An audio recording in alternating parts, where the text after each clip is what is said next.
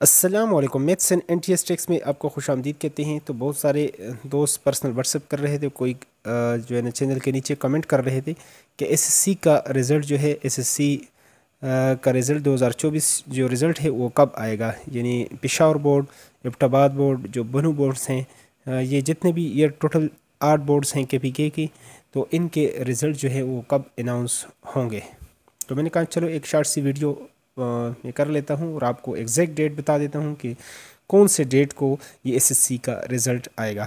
तो दोस्तों इन गज़ट भी आपको व्हाट्सअप करेंगे और हमारे व्हाट्सअप ग्रुप में आपको गज़ट भी आ, मिल जाएगा। तमाम जो बोर्ड्स हैं मरदान बोर्ड है पिशावर बोर्ड है इफ्टाबाद बोर्ड हैं तो उसका लिंक भी आपको डिस्क्रिप्शन में भी मिल जाएगा और फ़र्स्ट कमेंट में भी मिल जाएगा आपको।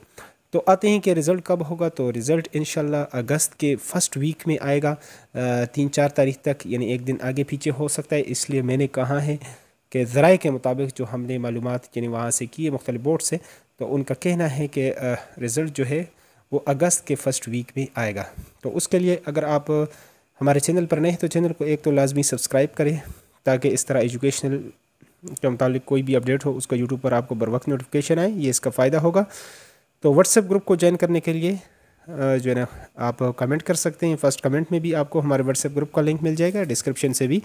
और वीडियो अगर अच्छी लगी है तो वीडियो को लाजमी लाइक करें, अपने दोस्तों के साथ शेयर करें। Thanks for watching the video